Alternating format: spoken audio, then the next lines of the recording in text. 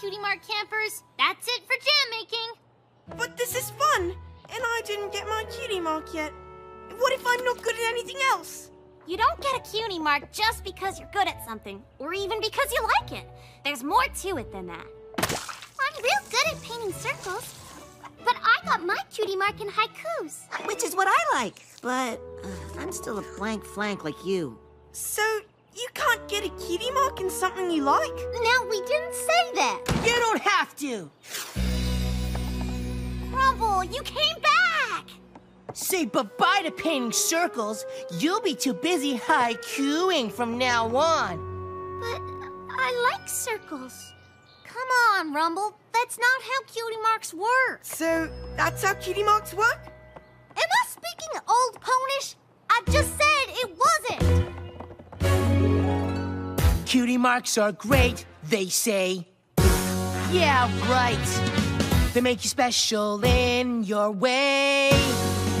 But that special mark that's just for you will erase the stuff you like to do. So, no more painting? No more haiku? Rumble, stop! That's just not true!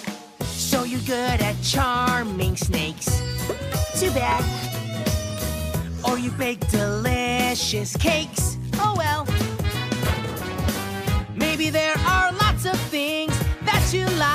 To do. Well, your options get pretty stark once you got that cutie mark. Blank flanks are better. No pony to tell you who you have to be.